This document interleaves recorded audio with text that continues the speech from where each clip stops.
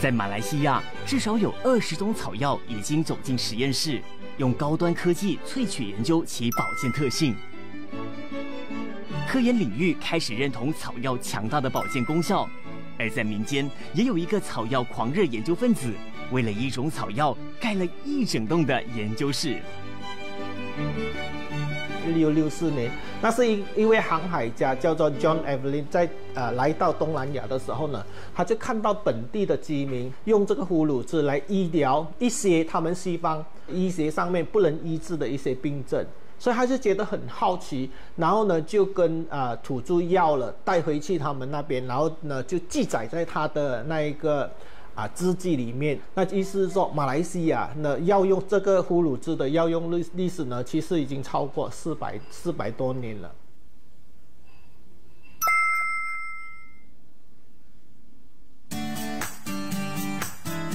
这些都是从森林里面所收集上来的一些哦，原来它原原本是长成这个样子的。这个就是它的茎核，所以这个下面的这个部分长在泥土里面的部分，我们叫茎核。嗯，然后还会长出柄和帽。哦，好像一个雨伞这样子。对对对，我小时候家里有的就是这么一粒的的那一个镜盒，然后妈妈就把它放在药箱里面，然后当我们有家里有人不舒服，就拿出来磨。怎么磨？它就是说在就是在在那个粗糙的表表面，就粗糙的陶器上面磨磨一层粉粉状，然后呢就掺水喝下去。陈春生博士原本是大马农业研究发展局的一名研究员。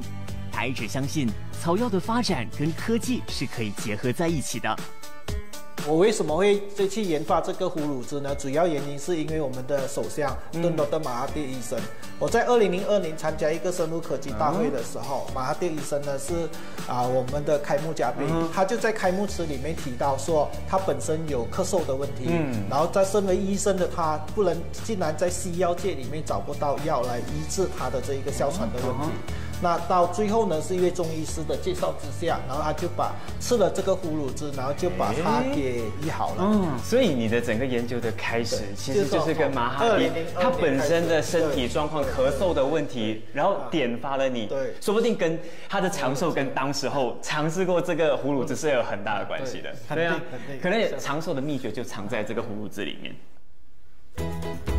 虎乳汁能够治疗哮喘、咳嗽以及增强免疫力，早在七零年代就已经备受华人社会的认同。它也是马来同胞强肺保健的传统药物。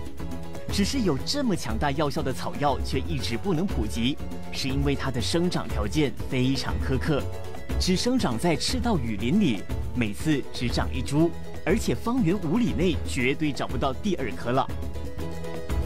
幸好科技带来了希望，陈春生博士获得财政部科技基金的资助，在森林里找到了野生哺乳植之后，通过生物科技成功培植，为国家留住了这珍贵的真菌类草药。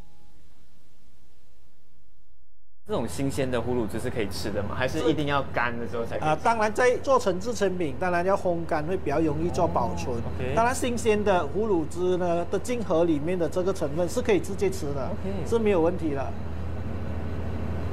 嗯，它没苦，跟其他的真菌有很大的差异，就是葫芦汁没有苦味。嗯，它其实没有特别的味道，但是一点点的。有点像 cheese 的口感，然后你吃下去了之后呢，它就有一点整个会松掉的，然后好像淀粉一样，然后散播在你的嘴巴里面。我我这样子吃鲜的，对于我这种可能有喉咙痛啊那种抗菌有功效，还是有功效的。它有两个很重要的功能，第一呢就是啊消炎。也就是说，当我们细胞发炎的时候呢，它能够修复发炎的细胞，然后进入正常化。那第二个功能呢，就是调节我们身体的免疫系统，我们的抵抗力就会增强，就会比较健康。所以其实葫芦汁它是有一种细胞修复的对，它主要是在对修复那一些发炎的细胞，尤其是尤其是肺部整个肺部的那一个发炎的功能。明白。所以它为什么能够对于那一些长期咳嗽？它主要就是强的呃强化你的肺过后，你能够把肮脏的东西咳嗽咳掉，那你就不用咳嗽了。原来如此。虽然野生葫芦汁非常珍贵，但是人工培植却能够控制成长。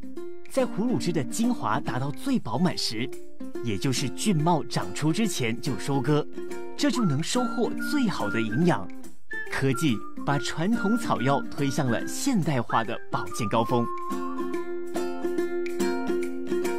这个就是呃葫芦枝的成长过程，那这个是第一个阶段，那就是我们刚刚把那个茎丝给放进去。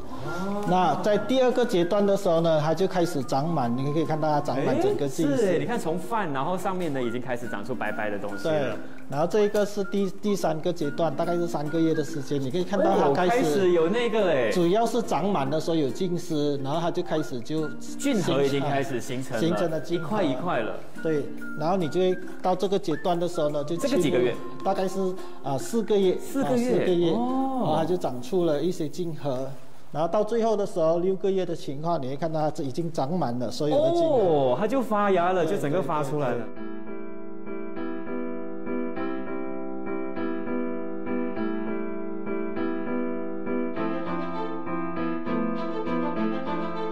草药采集天地间灵气，吸收日月精华，是大自然的精髓之一。